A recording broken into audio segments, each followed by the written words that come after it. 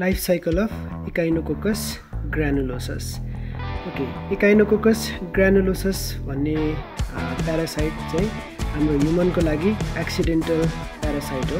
मतलब नर्मल्ली यसले ह्युमनलाई infection cause गर्न सक्दैन अथवा गर्दैन। यसको लागि डेफिनेटिभ होस्ट डगहरू अथवा क्यानिड्सहरू भनेर भन्छौँ हामीले। र इन्टरमिडिएट होस्टहरू सिपहरू अथवा जुन ग्रेजिङ एनिमल्सहरू हुन्छ नि सिप गोड्स स्वाइनहरू हुन सक्छ इन्टरमिडिएट होस्टको रूपमा र इकाइनोकोकस ग्रानुलोससको लागि इन्फेक्टिभ स्टेज भनेको इम्युनेटेड एग हो र यसको लागि डायग्नोस्टिक स्टेज भनेको हाइडाटिड सिस्टहरू हो है त? यो डिजिजलाई त्यही भएर हाइडाटिडोसिस भनेर पनि भनिन्छ। यो किनकि यो रोग यसको यसले रोग लगाएको बेलामा हाइडाटिड सिस्टहरू हाम्रो शरीरको डिफ्रेन्ट ठाउँहरूमा बनेर बसेको हुनसक्छ। है त? पहिला यसको लाइफ साइकल बुझौँ अनि फेरि अरू चर्चा गरौँला आउनुहोस् लाइफ साइकल हामी एक नम्बरबाट सुरु गरौँ। तपाईँहरू चित्रमा एक नम्बरमा ध्यान दिनुहोला र क्रमैसँग हामी अर्को नम्बरमा एक्सप्लेन गर्दै जानेछौँ है त? के एडल्ट वर्म प्रेजेन्ट हुन्छ?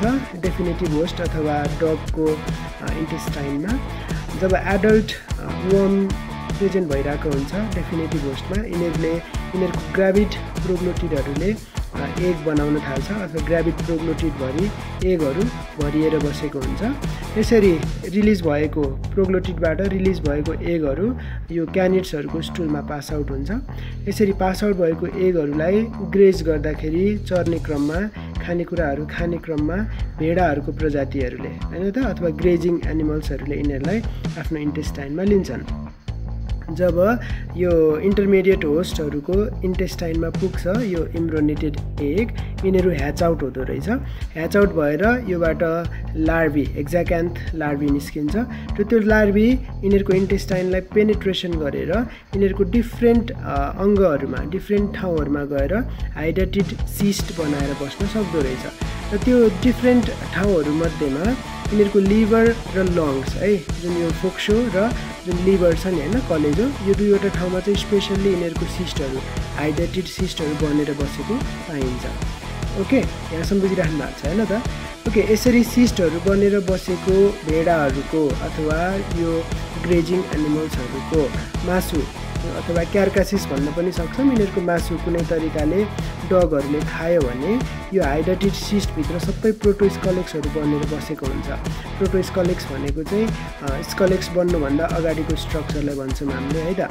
जब क्यानिडहरूले डगको जातिहरूले यो भेडाको प्रजातिहरूलाई यिनीहरूको मासु खान्छन् जसमा हाइड्रेटेड सिस्टहरू प्रेजेन्ट भएको हुन्छ।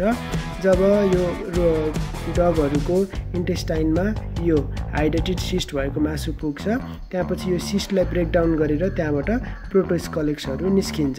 तपाईँहरू पाँच नम्बरमा देख्न सक्नुहुन्छ है त? यो प्रोटोस्कलेक्स निस्किसकेपछि यो बिस्तारै स्कलेक्समा कन्भर्ट हुन्छ र स्कलेक्स बनिसकेपछि कुकुरहरूको आन्द्रामा होइन? स्मल इन्टेस्टाइनमा टाँसिएर बस्छ र स्कलेक्सको पछाडिपट्टि सेगमेन्टहरू फर्म हुँदै गएर फाइनल्ली यो एडल्ट वममा कन्भर्ट हुन्छ। र यसरी एडल्ट वमले अन्डाहरू पार्न थाल्छ यिनीहरूको प्रोग्लोटिडमा अन्डाहरू बन्न थाल्छ र यसरी बनेको एगहरू यिनीहरूको स्टुलमा पास आउट हुन्छ है? र फेरि यसरी लाइफ साइकल यिनीहरूको चलिरहेको हुन्छ। अब मैले अघि नै भनिसकेँ मान्छे यसको लागि एक्सिडेन्टल होस्ट हो भनेर। मान्छेलाई चाहिँ कसरी यसको इन्फेक्सन सुरु हुनसक्छ भने कुनै कारणवश अब कन्टामिनेसनको थ्रुबाट मान्छेले यो कुकुरहरूको आँचीमा होइन दिशामा स्टुलमा पास आउट भएको इम्युनेटेड एगहरूलाई इन्जेस्ट गर्छन् भने मान्छेको आन्द्रामा गएर यो ह्याच आउट हुने भयो। ह्याच आउट भइसकेपछि इन्टेस्टाइनलाई पेनिट्रेसन गरेर यो एक्जाक्यान्थ लार्भी जुन छ त्यो एक्जाक्यान्थ लार्भी हाम्रो शरीरको डिफ्रेन्ट ठाउँमा गएर बस्न सक्ने भयो। के बनाएर त? हाइड्रेटेड सिस्ट बनाएर। जसरी भेडाको शरीरमा डिफ्रेन्ट ठाउँमा हाइड्रेटेड सिस्टहरू बनाएर बस्न सक्छ भन्ने कुरा अघि हामीले डिस्कस गऱ्यौँ नि। त्यस्तै मान्छेको शरीरमा पनि डिफ्रेन्ट ठाउँमा यो हाइड्रेटेड सिस्टहरू बनेर बसेको हुनसक्छ। जस्तै तपाईँहरू यहाँ चित्रमा देख्न सक्नुहुन्छ स्मल इन्टेस्टाइनबाट यिनीहरू रिलिज भइसकेपछिको अवस्थाहरूमा चार नम्बर भनेको हाइड्रेटेड सिस्टहरू बनेर बस्ने स्टेजहरू हो।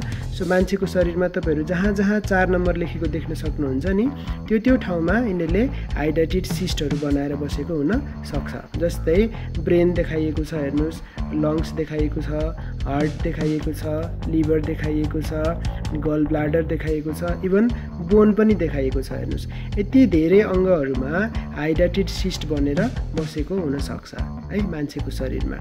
हुन्छ यो तरिकाले यिनीहरूको लाइफ साइकल चलिरहेको हुन्छ इकाइनोकोकस ग्रानुलोसस भन्ने प्यारासाइटको यो पनि टेपवम अन्तर्गत नै पर्ने एउटा प्यारासाइट हो हामी यसरी पनि बुझ्न सक्छौँ।